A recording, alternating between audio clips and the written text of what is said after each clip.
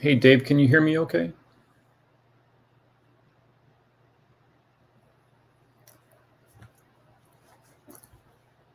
Okay, if, if needed, I can just get started, man. I don't want to cut you off.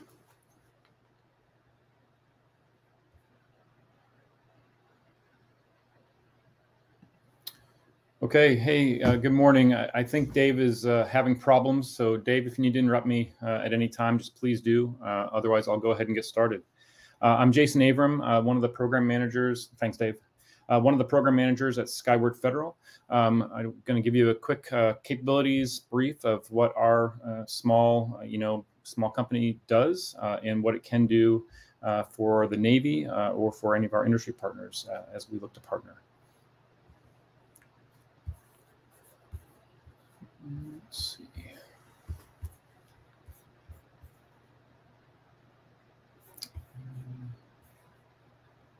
There we go. Okay, so here's what I'm going to cover real quick. Just a little bit of our background, primary competencies, um, some ongoing projects, but what I'd like to focus on is a data transfer agent as a service uh, capability, um, which I think is something, um, you know, with, with my time in the military uh, and just kind of what I've seen, um, being able to transfer uh, data, messages from low to high, and obviously from high to low uh, is something that affects everybody. So I'll cover that uh, quite a bit, uh, and then go through a little bit of our personnel, just kind of what we uh, what we provide as a as a small company.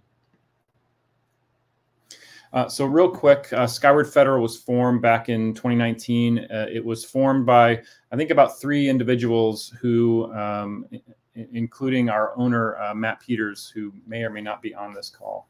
Um, but um, uh, they were formed basically because the government had a problem uh, and we had an innovative way of solving that problem.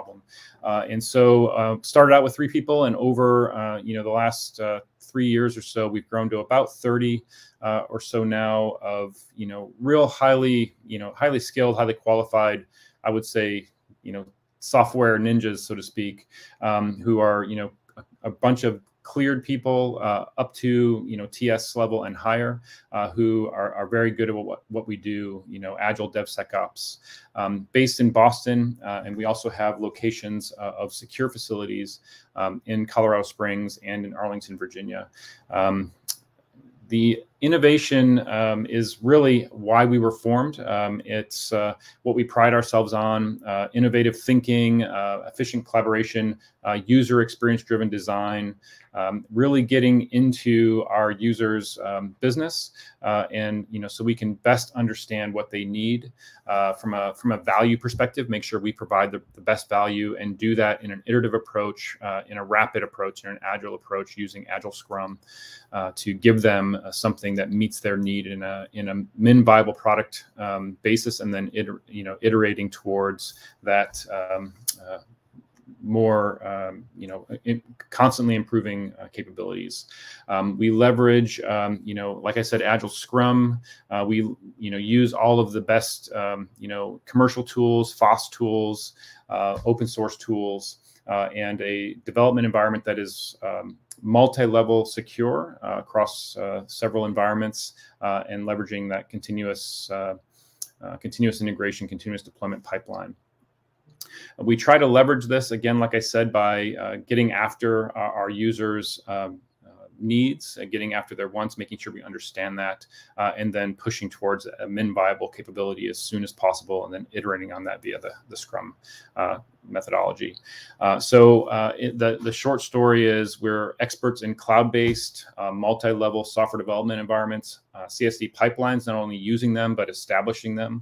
and I would um, argue that we're one of the very few uh, that have established those pipelines and those development environments in multiple uh, classification levels with the ability to uh, transfer uh, the data uh, between those uh, environments. Uh, so this is, I'll just go quickly over some of those primary competencies.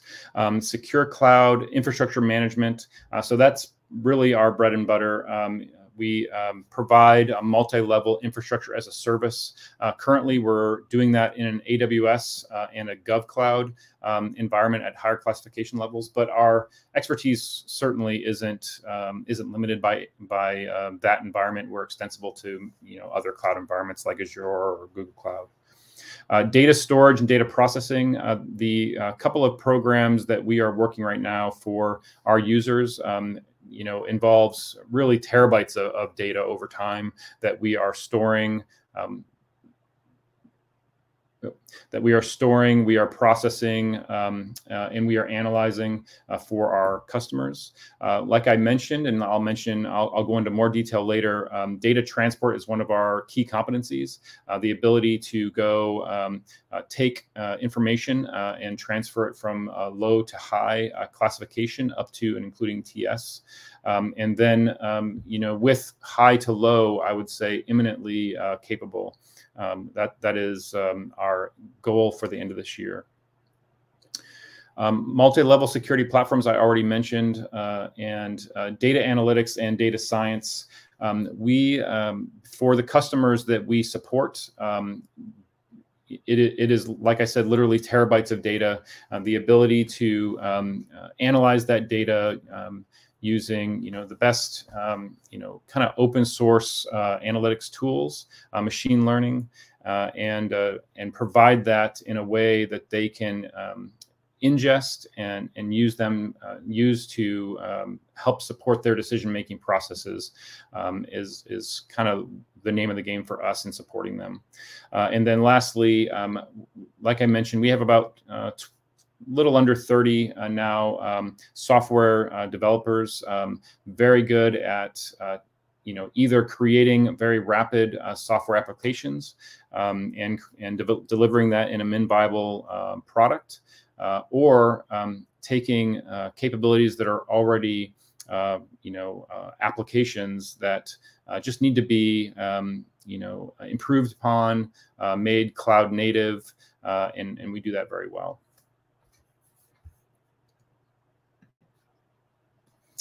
Uh, we do have ongoing projects. Um, we we uh, support uh, an other transaction agreement uh, with a customer in DC, uh, and through that um, support a couple of DC-based customers for um, for things that that are listed here: multi-level data processing, which I already mentioned creation, storage, retrieval, movement, and protection of large volumes of, of data, both classified and unclassified.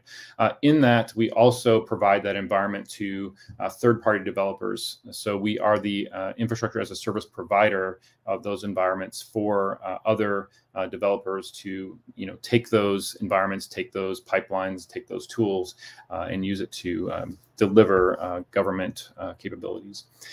cross-domain data transfer. I'll, I'll get more into that in just a second, but that is that data transfer agent that I mentioned. Uh, and then uh, secure software development. Um, we leverage uh, Kubernetes-based environments and CI/CD pipelines, which allows us to be very agile, very scalable. Uh, the data transfer agent, I'll go into a little bit more detail now. So uh, the data transfer agent really, it, it is not a cross-domain solution. It, it is uh, a system that encapsulates multiple uh, cross-domain um, solutions. Uh, it provides a, a common interface to leverage, you know, basically analyze the data, analyze the environment that our, our user is operating in and what they need, and then uses um, that um, via an, an, abstraction layer to um, to utilize the best cross-domain solution that fits uh, the needs of the situation.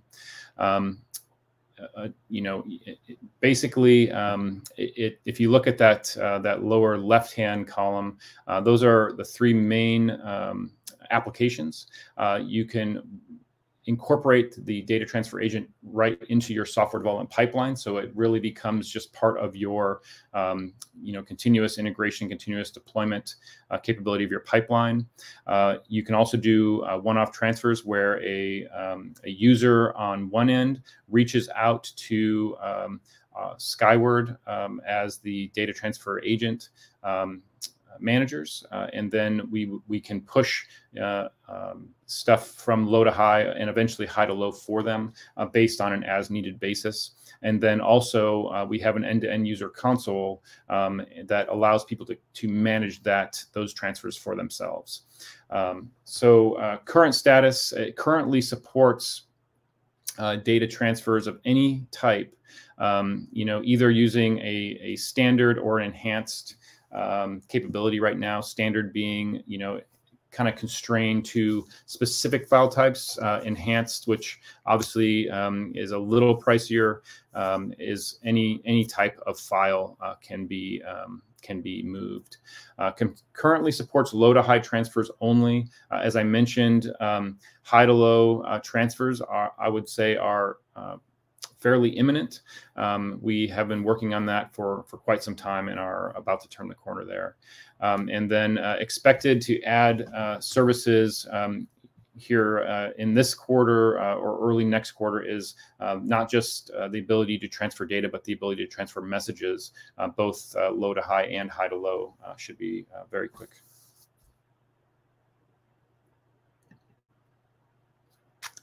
Uh, so now I'll talk real quick about data transfer uh, agent as a service. And one thing I'd like to mention is we've um, we do this currently for our um, our current customers. Uh, just in um, just in 2022, since January, we've um, uh, transferred about 11 and a half terabytes of data uh, for them, uh, thousands of, of transfer requests. Uh, so this is working. We've we've used that to um, try to bound, you know, from a expectation management perspective, certain um, prices uh, so people can understand kind of what this service would cost. But I just want to caveat that uh, really this begins with sitting down, right? Our integration team would sit down with any uh, potential um, user of this uh, understand their environments, understand their cybersecurity environment specifically, uh, and put together a tailored approach for incorporating this. So uh, just take take the prices with a grain of salt. It's really just there to kind of give you uh, an idea of the scope and size.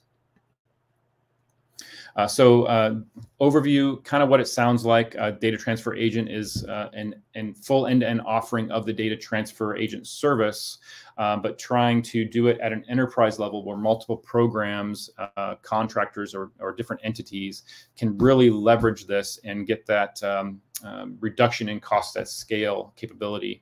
Um, we have ways to provide um, kind of rapid contracting. We've been spending some time thinking through that. Uh, there's lots of different, um, you know, opportunities from a, you know, government-wide uh, acquisition contracts that are available to, you know, OTs that you can leverage, other transactions that you can leverage. Uh, so that should not be a problem. Uh, here's the, the basic uh, tiered infrastructure. So um, we have, um, like I mentioned, low to high transfer capability. So, so in short, basically, the first thing you do is set up the the uh, infrastructure, the infrastructure connections. You can set that up for a basic or a premier service. Basic uh, providing um, that capability for a full suite of message and, and uh, a pre-approved data file set. So that's that standard um, and, uh, diode. Um, that is a little bit less expensive, really. Uh, um, you know, if you want dedicated infrastructure, we're talking anywhere from uh, 250 to 500k a year uh, to make that connection. Uh, and then if you're, you know, want to do it more of a shared approach, um, we will be uh, you, you, know, obviously you get some of that economies of scale. It's really dependent on your, um, you know, on a user's needs. Um, the DTA Premier allows you to capture that full enhanced diode. That's you know any kind of a data uh, file that you want to uh, transfer can be transferred that way and then obviously that is a little bit more costly uh, leverages some um, uh, commercial um, capabilities that we that cost a little more. Uh, along with that infrastructure connection, uh, we would provide uh, some um, customer uh, success support. Um, you know, we look looking at what we provide to our current customers, usually about 30 hours uh, um, a month uh, between uh, tier one and two, and then tier uh, three type support. Um, and uh, you know, depending on how quickly you want your response to be, will drive a little different price. Uh, and then once the connection and the service is established, which uh, should be, uh, depending on complexity, you know, can be very quickly, you know, a month or less, or can be uh, a little bit um, longer based on the complexity, based on the um, cybersecurity environment. Uh, and then as you start to transfer, it's really just a pay-as-you-go type of a service where uh, you pay based on the number of gigabytes of service that are transferred. And again, um, that is, uh, you know, first thing we would do is sit down with the user, make sure we fully understand uh, the, the environment. So the, this is uh, in, in, effect what the uh, process would look like to establish this for a new uh, customer. Uh, first off, we our integration team, which includes a couple of DTA um, uh, engineers uh, and a cybersecurity engineer, would sit down with the user, understand the environment, understand um, you know um, the, um, the, the data needs, the cybersecurity environment, whether it's an on-prem or a, already a cloud um, you know environment really understand how the integration would happen. Then we develop that integration plan that's tailored to that specific user uh, and their needs based on you know what you know what operational considerations they may have. Uh, then we um, you know really want to make sure we understand the accreditation path uh, understand how we can leverage our current uh, risk management framework body of evidence to get that ATO reciprocity for the new environment, and then we would deliver that quote uh, and and really get to work um, based on um, based on the customer's um, uh, needs.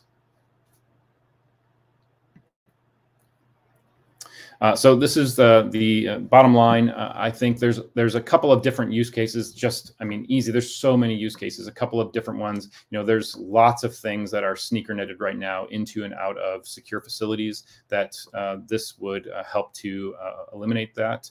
also, um, you know, any kind of software development that happens unclassified that you then have to push into a classified environment. This would help with that because you can process not only um, data like Word docs, PDFs. You can also uh, transfer um, Docker images, uh, code.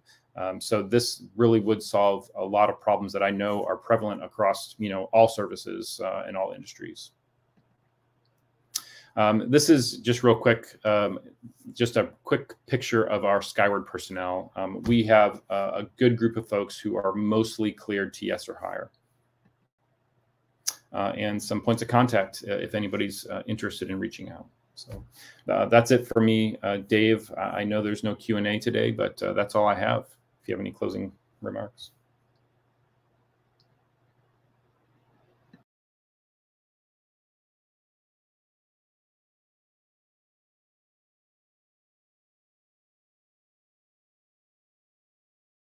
All right. Thanks, Dave.